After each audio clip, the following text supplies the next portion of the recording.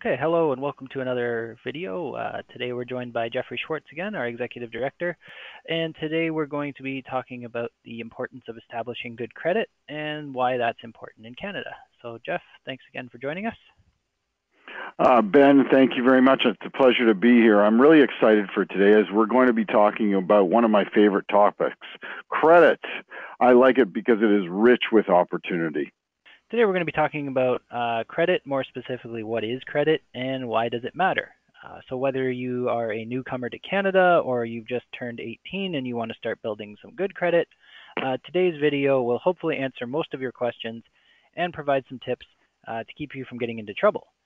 And helping those that have gotten into trouble with some bad debt is something Jeff has quite a bit of experience with. So let's start with one of the most common questions I get, and that is, how can I build my credit without getting into trouble. Mm. Now, I'm sure we're going to delve into this in greater detail throughout this video and, and the next one. However, it, it, it really just boils down to learning, planning, and discipline. Understand what a credit score and credit profile is made up of, make a plan to build or rebuild it, and stick to the plan relentlessly. Right, uh, that's a big part of it, the discipline. Uh, and you know, some people are better than with that than others, but that's a great way to look at it. So obviously, rather than just answering, you know, what is credit, we're also going to take a look at why credit, specifically good credit, uh, matters so much here in Canada. A large part of that's going to include your credit reports. Now, there's a ton of confusion around credit reports and how to read them and understand them, so we'll spend a bit of time looking at what I call credit report translation. Uh, we'll also need to look at credit scores and more specifically how they are calculated. And finally, we'll briefly look at credit ratings uh, because those are important to understand uh, as often potential lenders are going to be looking at those specific ratings uh, when deciding whether or not to lend to you. So all of these help should help us round out a major concern for many of Canada, and that is how to build or establish good credit. Ben, I, am exhausted uh, just just by hearing what you're talking about. I mean, that sounds like quite a bit of information we're going to be going to cover. So I'm going to try my best to keep it short and to the point. And the first point would be to know where you are on the credit score spectrum.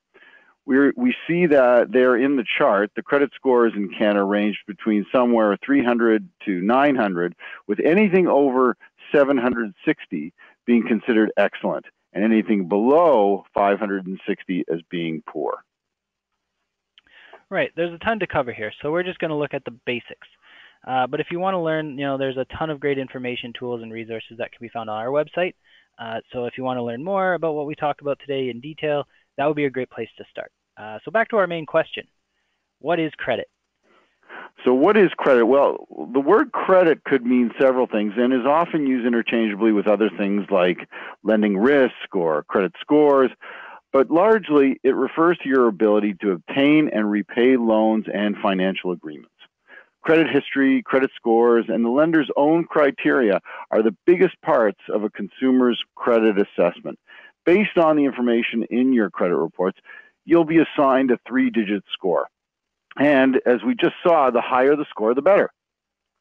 With high credit scores and clean credit reports, you're more likely to be approved for loans and you'll get the lowest interest rates and the most favorable terms. And it will also show your lender your credit character.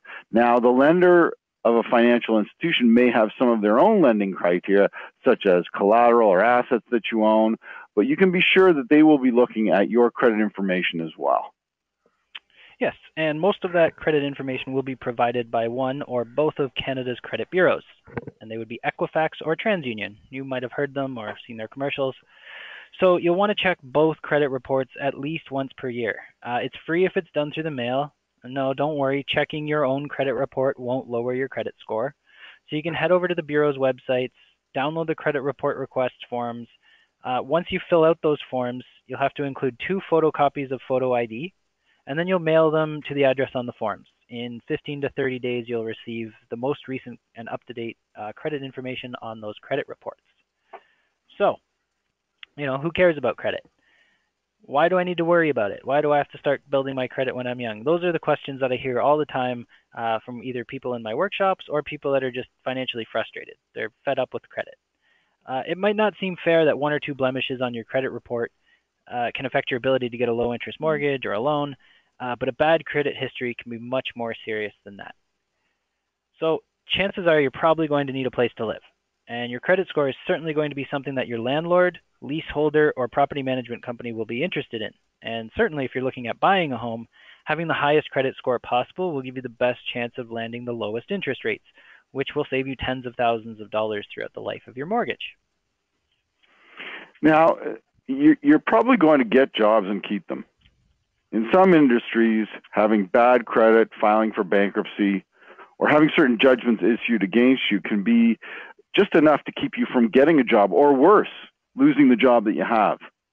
Bad credit might also cost you more than you expected when trying to set up necessary utilities like hydro, water, natural gas at your home.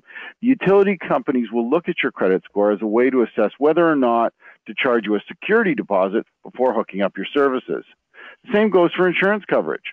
High credit scores, clean credit reports show to your insurance company that you're great at paying your bills on time, in full. And as a result, they may charge you a lower premium for your clean record. So credit does matter for so much more than just getting a good interest rate on a loan.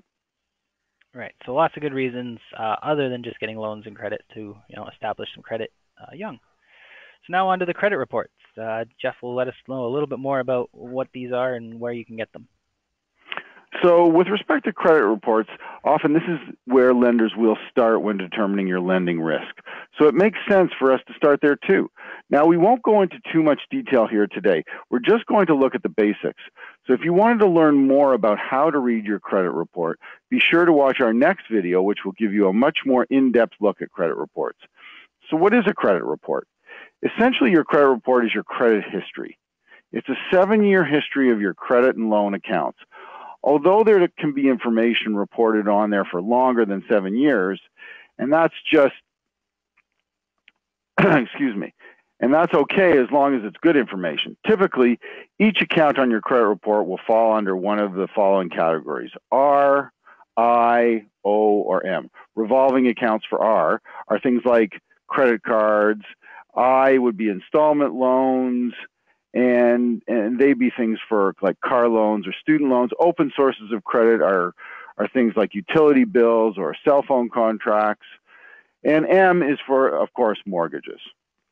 In addition to your credit history and types of credit accounts, your credit report will also make note of both negative and positive information, such as paying on time or by how late you've paid even things like if the debt was sold to collections or if you filed a bankruptcy. So it's your job to ensure that all the information is correct. If you find an error on your credit report, you need to dispute it and get it fixed as soon as possible. Right, and we see it all the time where someone has some incorrect information or an error reporting on their credit report, and that could reflect your uh, credit score. So be sure you check those out. If there is any mistakes, yeah, like Jeff said, you need to get those fixed. So the first question is, you know, how do I get those credit reports? Uh, well, there are many ways to get your credit report, but the cheapest and easiest is through the mail. All it costs is the price of postage. You just need to buy a stamp. Uh, your, you can request your credit reports from both credit bureaus once per year. All you need to do is go to the bureau websites and download the Consumer Disclosure Request Forms. So you'll mail in those to the addresses with the photocopies of your ID that I mentioned earlier. And like I said, 15 to 30 days later, you'll have your credit reports. Uh, but that's only half the battle. Uh, what's next, Jeff? Oh, uh, that's a good question, Ben. Getting the reports is the easy part. Understanding what's on them is what matters. But start with the basics. Make sure everything is correct and that you recognize every account that on, that's on that report. If you see something you don't recognize, it could be a sign of identity theft. So check your reports carefully and be sure to check them annually.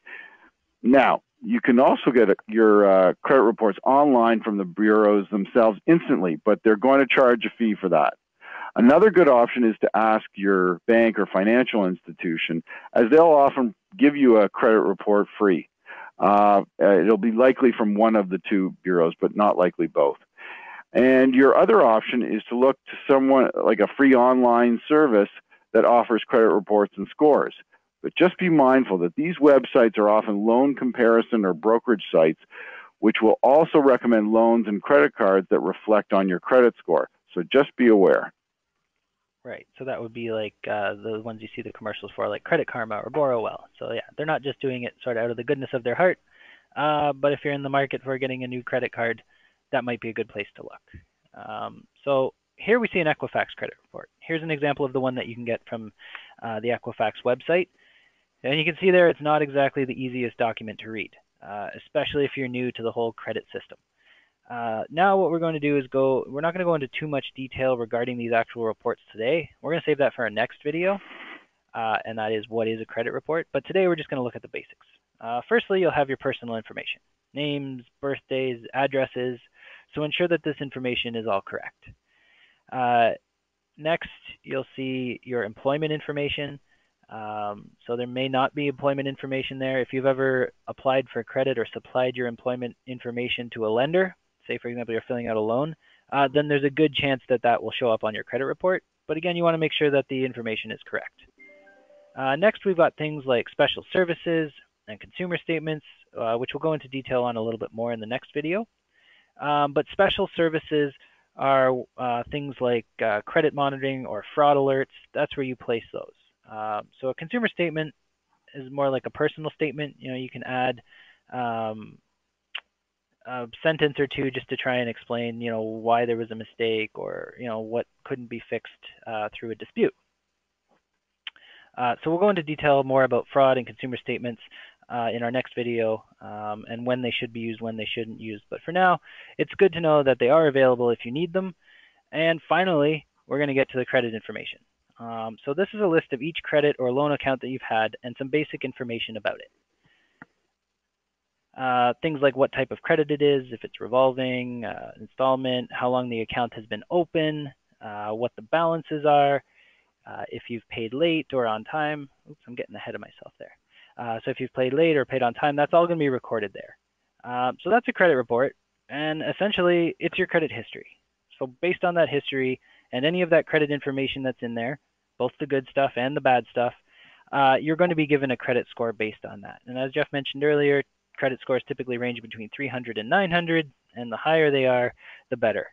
Uh, but if you're new to the country or you're a young person with no credit uh, credit history, your credit score might be a big old zero.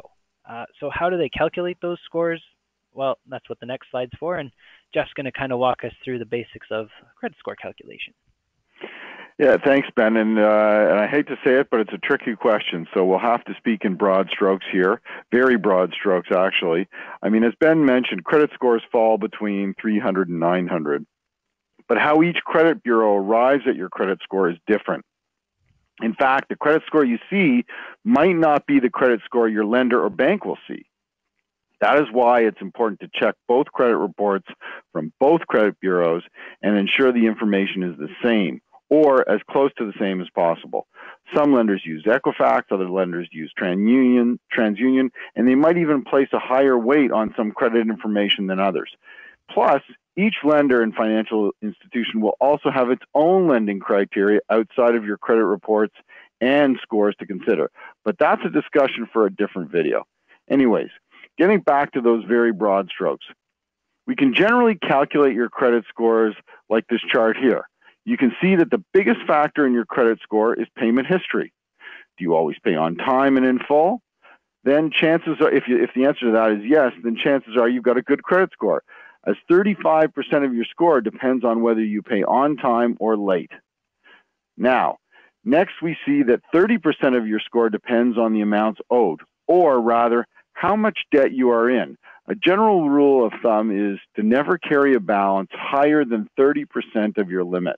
So this is also called utilization. For example, let's say I have a $1,000 limit on a credit card and for some reason I don't think I'll be able to pay it off in full this month maybe my car broke down. If I were to carry a balance on that card of $300, 30% of its limit for just two or three months, my credit score would start to go down because I'm overutilized. So when people start maxing out credit cards and their lines of credit month after month, their credit scores start to suffer. Next on the chart is the length of credit a length of credit use. So newcomers and young people starting to establish credit are a bit of a disadvantage because the longer you use credit responsibly, the higher your credit score will climb. Moving on, we have new credit, or rather credit applications or inquiries. When you apply for loans and credit, you're agreeing to a hard credit check, sometimes called a hard credit pull. This means a lender is checking your credit as part of the application process, and it can also signal a bit of a credit risk. As a result, too many hard credit checks or inquiries can start to lower your credit score. So only apply for credit when you need it. Just ask yourself why? Why do I need this loan or credit card? If the answer is to buy a car, a home, or for emergencies, collecting rewards points, or building credit, then that's a good reason to apply. However, if the answer is to pay off another loan or to make ends meet, then looking for credit will only delay inevitable financial problems. Finally, we've got the last 10%, which is types of new credit or your credit mix. Having different types of credit shows that you can handle different financial obligations. For instance, if you're paying down student, a student loan and using a credit card responsibly every month, then you'll have excellent credit scores in a year or two. Right, so some good information there to consider when you're trying to build your credit. Um, but this calculation model is a little old. I'd say at least 50 years or so. So yeah, there's been a little bit of advancement since then, but broadly, this chart still helps to highlight the most important parts of a credit score. If we wanted to look at it in terms of a credit score, let's take 600 as our example, uh, as that's usually what's considered fair credit by most lenders. Uh, a 600 means you'll most likely be considered for most loans and credit cards, but there's going to be a little bit more restrictive term. Uh, it could be lower credit limits uh, and definitely higher interest rates. So at 600, your credit score could essentially be broken down like this. 210 points would be awarded to your effort to pay on time. 180 points would be credited for how much debt you currently owe or your utilization that we mentioned. Uh, 90 points would be awarded to how long you've used credit. And 60 points each would be counted towards how many credit applications you've applied for and what your current credit mix is. Uh, by maintaining good credit habits such as paying your bills on time and in full every month, and by not applying for credit that you don't really need, your score is only going to go up from there. However, if you started to make mistakes, like you're maxing out credit cards and not paying them off, uh, if you're paying late or you're having your debts turned over to collection agencies, then you'll expect your credit score to start to slide below the 600, which puts it into poor credit territory. So how do we establish that good credit? Well, that's the big question. How do I build good credit? Well, the first thing your lenders will want to see is that you're earning an income. This shows that you have the capacity to repay your loans and financial obligations. Uh, once you've obtained a source of credit, maybe a secured credit card or a small loan or something like that, preferably one that reports to both credit bureaus. Some only report to Equifax, some might only report to TransUnion, but if you can find one that reports to both, it's best. So it's time to start using it and paying the balance in full every month. That's going to show uh, a steady history of using credit responsibly. It's even better if you can get two sources of credit reporting to both credit bureaus. And if you're worried that you can't get approved for credit because you're too new or because you made some mistakes in the past, uh, don't, right? There are programs out there to help you with that. No, that's right, Ben. I mean, anyone, no matter what their credit score, can also get what's called a secured credit card. All that means is that you'll have to provide a deposit to secure the limit. So if you put down a thousand dollar deposit at a bank for a secured credit card, they'll give you a real credit card with a one thousand dollar limit. Real credit, but also real interest rates too. So make sure you use it and pay it off in full. And if the thousand dollar deposit is a bit of a barrier, you might want to look to get alternative credit card companies or credit union uh, cards where you might be able to find one for around $500 to get you started. Monitor your credit and in a full in a few months you'll be able to apply for an unsecured credit card and get your deposit back you can also look at credit building loans or programs these are often GIC or savings loans program where you'll pay into what, what you'll do is you'll pay into that each and every month. Each month that you make a payment on time, it will be reported to the credit bureaus. At the end of the program, the loan will be paid out minus the fees from the credit program company of course. So if you're seriously considering a credit rebuilding program or credit building program, be sure you understand their fee structure and also make sure that these programs will be reported to both credit bureaus to net the best score for you. Right. So there's some options out there for people with no credit or maybe bruised credit to try and just you know, bring themselves back into that good credit territory. So really, the mantra here is to borrow, pay, and then repeat. And it's something I often recommend to my clients and workshop attendees. You know, use a credit card for some monthly needs. Leave the credit card at home if you have to. That way you're not tempted to take your friends out for drinks or pay for the family dinner. Uh, but set it up to be automatically charged to your credit card. Then be sure to pay off your balance before the end of the month. So, you know, what is an easily affordable monthly expense for you? Whether it's a monthly expense like your hydro bill or your cell phone bill, something could be more affordable like maybe your internet bill or even just a Netflix subscription. Try and use your credit card, pay it off, and then do it again the next month. By doing it with a monthly expense, one, you're paying for something that you essentially need every month, and two, you'll be establishing a great credit history. Eventually, you might even get to the point where you're approved for a cashback or rewards point credit card.